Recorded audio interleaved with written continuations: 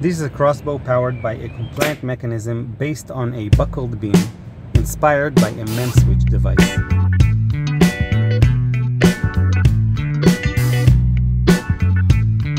Back in 2019, I worked on a MEMS device for one of my company's projects. A MEMS device is basically a microelectromechanical system. It means it's a mechanical system at a microscale, typically produced or manufactured through VLSI processes, the same process used to manufacture silicon chips. One of the switches we developed was particularly interesting because it utilized a buckled beam. In this specific switch, there is a beam that is pre-made in a buckled state. The fascinating aspect of this switch is its bi-stable, this means that you can change the position of the switch and it will maintain the position until you switch it back. I wanted to take this concept and create something practical that I can print and use to teach the concept behind it. I thought it will be interesting to share the idea of the buckle beam mechanism. I wasn't exactly sure what to do with it initially, but I thought a toothpick crossbow would be a very cool design to showcase this concept.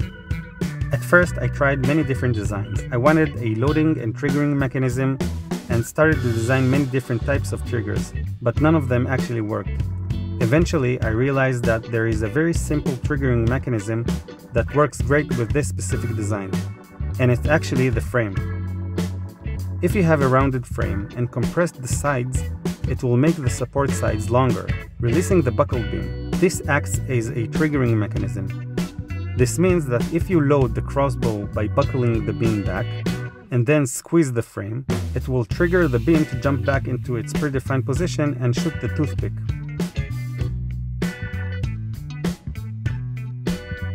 The downside of this design is that if the frame is not stiff enough, the force of the buckle beam will stretch the frame and release it automatically.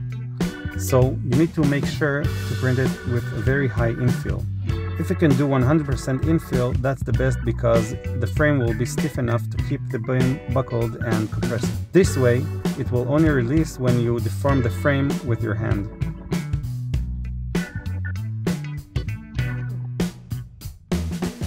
This is the first time I'm making a video with this voiceover format, so please let me know what do you think about it. If you like it or dislike it, please share your thoughts with me. And if it goes well, I might even buy a decent microphone.